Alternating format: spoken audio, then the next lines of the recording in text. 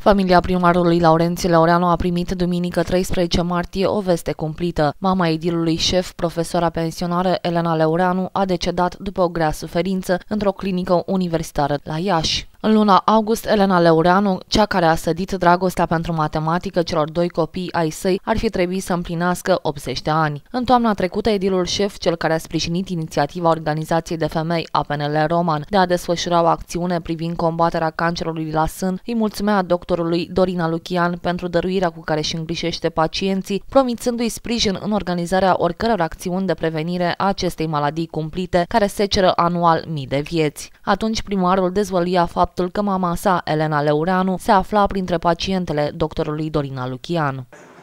Pe mine m-ați impresionat, vă spun sincer, și vreau să vă mulțumesc și în calitate de specialist, vreau să vă mulțumesc și în calitate de medic al mamei mele, pentru că acestea sunt niște lucruri și eu, dincolo de ce a spus dumneavoastră de educație, sunt anumite false pudori, unele lucruri care nu se discut, care nu se vorbesc, care capătă imagine de tabu și care dăunează foarte grav. Prima dată, o problemă pentru a putea să o rezolvi, trebuie să recunoști că o ai, iar apoi să curcezi spre soluție.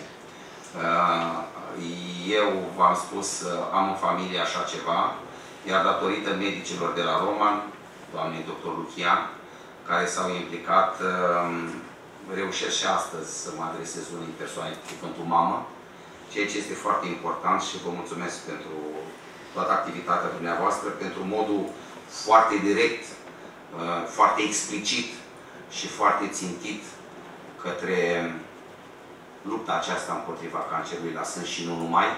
Și orice ce putem face, mă aveți partener în această activitate, să putem să facem un pas în plus pentru sănătatea noastră în general, dar a femeilor în special, că despre acest lucru este vorba astăzi. Vă mulțumesc foarte mult! Elena Leureanu a fost unul dintre profesorii cei mai apreciați ai generației sale, predând matematica la Liceul Industrial Vasile Sav Roman până la ieșirea la pensie. Aceasta a sădit dragostea pentru matematică și copiilor săi. Atât edilul șef al romanului, cât și sora sa Violeta, profesor universitar de matematică la Universitatea Alexandru Ioan Cuza din Iași, au prins dragostea de matematică de la mama lor. Trupul neînsuflețit al Elenei Leureanu va fi condus pe ultimul drum miercuri 16 martie la ora 11 la cimitirul Eternitatea din Roman. Echipa postului de televiziune Roman 24 este alături de familia îndurerată.